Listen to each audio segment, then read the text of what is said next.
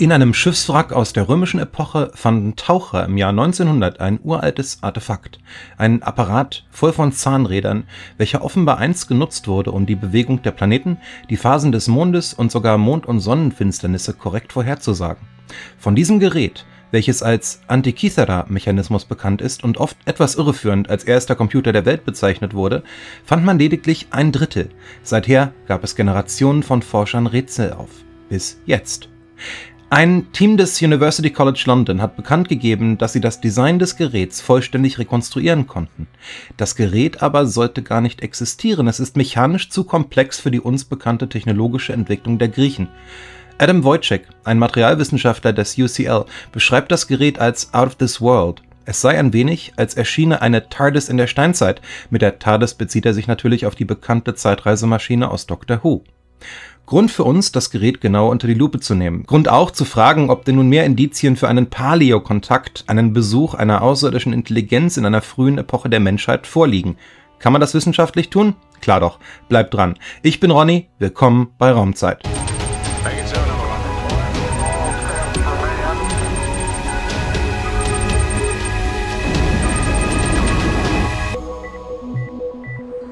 Der Mechanismus von Antikythera ist hochkomplex und seine Erschaffung scheint die Möglichkeiten der damaligen Menschen zu übersteigen. Dies machte ihn zu einem heißen Kandidaten für ein sogenanntes Out-of-Place-Artifact, ein Gegenstand, der nicht in seine Epoche gehört und damit Indiz für ein Wirken einer fortschrittlichen Kultur sein könnte. Seine vollständige Rekonstruktion wird diese Diskussion wieder anfachen. Auch die Wissenschaftler des University College London tragen nicht unwesentlich dazu bei, wenn sie das Gerät selbst als Computer bezeichnen und seine Existenz mit dem Auftauchen einer TARDIS in der Steinzeit beschreiben. Schauen wir uns also kurz zunächst den Kontext an, bevor wir uns mit dem Mechanismus selbst befassen. Was sagt denn die Wissenschaft zur Hypothese, außerirdische Raumfahrer könnten die Erde besucht haben? Der Konsens hier ist, dass diese Hypothese nicht unmöglich ist, gleichzeitig aber unnötig. Alle vermeintlichen Mysterien, so die gängige Meinung, könnten auch erklärt werden, ohne dabei prähistorische Astronauten zu bemühen. Es sei daher sinnvoll, Ockhams Rasiermesser anzulegen und die Hypothese als eine zu verwerfen, die unnötige Komplexität in die Materie bringt. Das ist solide, aber nicht völlig zufriedenstellend. Und in solchen Situationen werfe ich gern einen Blick auf Carl Sagan, ein grundsolider, anerkannter Wissenschaftler, den aber eben genau wie uns hier bei Raumzeit die Frage nach außerirdischen Zivilisationen nie ruhen ließ. Tatsächlich hat sich auch Sagan zur Frage der Präastronautik geäußert.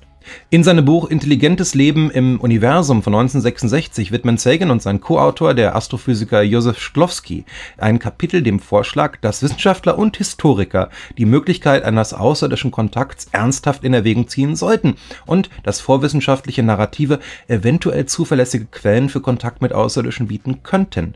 Mit den sumerischen Sagen von den Oanes fischartigen Wesen, welche die Sumerer in Landwirtschaft, Mathematik und Künsten unterrichteten, nennen sie ein konkretes Beispiel, welches aufgrund seiner narrativen Kohärenz und seinem Detailreichtum genauere Betrachtung als möglicher Fall von Paläokontakt sein könnte Gleichzeitig gaben sie zu bedenken, dass diese Denkansätze natürlich spekulativ und nicht bewiesen seien. Sagan ergänzte auch 1979, dass Personen wie von Däniken und andere unkritische Schriftsteller solche Hypothesen eben nicht als solche betrachteten, sondern ihnen unbegründet Beweiskraft zuschrieben. Viele Legenden und vermeintliche Out-of-Place-Artifacts verdienen Sagan zufolge nicht mehr als eine flüchtige Bemerkung, da sie besser mit herkömmlichen Hypothesen erklärt werden könnten. Nun leben wir in einer Zeit, in der mögliche Kontaktszenarios regelmäßig und von vollkommen seriösen Quellen beschrieben werden. Ganz ohne Fringe Science Label veröffentlicht ein Harvard-Professor mehrere Aufsätze, in denen er seine Überzeugung darlegt, dass es sich bei Oumuamua um ein Artefakt einer außerirdischen Intelligenz handeln könnte. Ebenso geraten fast wöchentlich neue Aufnahmen von unbekannten Flugobjekten an die Öffentlichkeit, teils ausreichend spektakulär, wie die jüngste Aufnahme des Pentagons, welche ein UFO zeigt, das ohne alle typischen Anzeichen in den Überschallflug übergeht. In dieser Zeit kann man, wie eigentlich aber immer, die Frage nach historischem Exokontakt durchaus stellen, solange man die Regeln wissenschaftlicher Objektivität bewahrt. Und nach all der Vorrede, was ist denn jetzt eigentlich mit diesem Antikythera-Mechanismus, der nun endlich rekonstruiert wurde?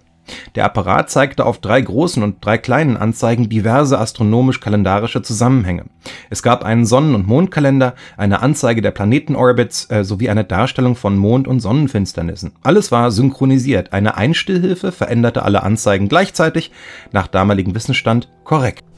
Dieses Gerät, so viel war immer klar, war hochkomplex aufgebaut, weit komplexer als alles, was wir aus der Zeit der Griechen, des Hellenismus oder der Römer kennen. Gleichzeitig, trotz Jahren akribischer Forschung und Debatte, gelang es weder, die Berechnungen nachzuvollziehen, die im Entwurf des Apparats genutzt wurden, noch den Mechanismus selbst aus den etwa 80 halb verrotteten Messingfragmenten zu rekonstruieren. Dass dies nun gelang, ist beeindruckend, das war es aber auch für die Wissenschaftler selbst. Das Forschungsteam beschrieb ihre Erkenntnisse vor einigen Tagen in der Zeitschrift Scientific Reports so.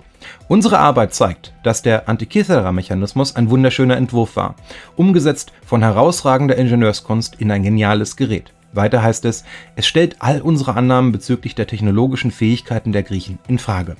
Nicht nur das, die Kluft zwischen der Komplexität des Geräts und anderen aus der gleichen Epoche ist, in den Worten des Co-Autors Adam Wojcik, unendlich groß. Tatsächlich werden im Apparat Zahnräder verwendet, die wir heutzutage in einer Wanduhr finden würden. Und sind aus der Antike zwar Zahnräder bekannt, diese aber waren unglaublich viel größer und wurden in Dingen wie Ballisten oder Katapulten verwendet. Das wirft natürlich viele Fragen auf, nach der Herstellung, der herstellenden Person und natürlich auch, warum es das einzige Gerät seiner Art ist, das wir je fanden. Oft wurde der Name Archimedes als möglicher Erschaffer des Antikythera-Mechanismus genannt. Er lebte etwa 120 Jahre, bevor das Schiff mit dem Gerät unterging, er galt als herausragendster Ingenieur der Antike und er wurde schließlich von den Römern getötet. War das Gerät ein Beutestück nach der Belagerung von Syrakus und deshalb auf einem römischen Schiff? Wir wissen es nicht, obwohl wir einige Aussagen von Cicero besitzen, die die Existenz eines vergleichbaren Geräts zu belegen scheinen. So schrieb er von einem von Archimedes erbauten Instrument in Rom, welches die Bewegungen von Sonne, Mond und Planeten um die Erde zeige. Das große Rätsel ist also nicht die Existenz des Geräts an sich, sondern wie überhaupt ein feinmechanisches Meisterwerk und Einzelstück wie der Antikythera-Mechanismus entstanden sein könnte. Um dies herauszufinden, wird das Team des University College London versuchen, den Apparat mit uns bekannten hellenistischen Methoden von Metallverarbeitung und Handwerk nachzubauen. Sollte das nicht gelingen, bleibt die Frage nach der Komplexität und der Fertigungsqualität offen. Es wäre aber auch das einzige Indiz für eine mögliche präastronautische Deutung. Alles andere ist für uns solide durch Quellen abgesichert. Die Schriftzeichen, die waren korinthisch. Das Planetenmodell entspricht dem damals gängigen geozentrischen Modell mit fünf bekannten Planeten. Es gibt ägyptische Monatsnamen, babylonische Tierkreiszeichen. Sogar ein kleiner Olympiadekalender mit dem Verweis auf die im Vierjahreszyklus stattfindenden panhellenischen Spiele war angebracht. Ähnlich gestaltet sich die Indizienlage, wenn man sich andere kontrovers diskutierte Out-of-Place-Artifacts anschaut, zu denen etwa die Batterien von Bagdad, die Glühlampen von Dendera oder die Säule von Delhi zählen. Zum Beispiel die Batterien von Bagdad. Die waren nicht mehr als ein Keramikgefäß, eine Kupferröhre und ein Eisenstab. Sie können nachweislich Strom erzeugen. Nur sehr geringe Ströme unter einem Volt, aber sie konnten. Haben die Parther also Elektrizität genutzt? Das ist kaum nachweisbar. Jenseits des Fundes in Bagdad tappen wir im Dunkeln. Alles weitere muss immer Spekulation bleiben. So auch die Vermutung, die Batterien könnten für medizinische Zwecke in Form einer Art Elektroakupunktur zum Einsatz gekommen sein. Oder, wie mehrfach in Experimenten recht erfolgreich gezeigt, zum Galvanisieren von Münzen. Warum war das Wissen da? Warum so punktuell? Insgesamt müssen wir das Urteil fällen, dass es keine schlüssigen Beweise gegen eine präastronautische These gibt und ebenso wenig, und das ist wichtig, keinerlei Beweis eines Besuchs einer außerirdischen Kultur vorliegt. Obwohl, und ich zitiere nochmal Adam Wojcik, es keinerlei Indiz gibt, dass die alten Griechen so etwas bauen konnten und der rekonstruierte Antikythera-Mechanismus wie eine TARDIS wirkt, die in der Steinzeit auftaucht. Persönlich kommt für mich stark das Quantitätsargument zum Tragen. Wenn eine außerirdische Zivilisation in historisch ganz verschiedenen Epochen den Patern Wissen über Batterien vermittelt, die Pyramiden mit Glühlampen ausstattet und später den Griechen noch einen Kurs in Feinmechanik gibt, dann wäre es doch wahrscheinlich, dass wir erheblich mehr Zeugnisse ihres Wirkens hätten. Diese aber fehlen. Von Beweisen natürlich ganz zu schweigen. Uns ist klar, dass so ein Thema teils polarisiert. Schreibt also ruhig, was ihr denkt. Wir danken euch in jedem Fall fürs Zuschauen und danken wie immer unseren Unterstützern auf Patreon. Ganz besonders unseren galaktischen Overlords Markus Tröster, Sebastian Marktz, Aim Gods und Nikolas Schreier. In diesem Sinne 42.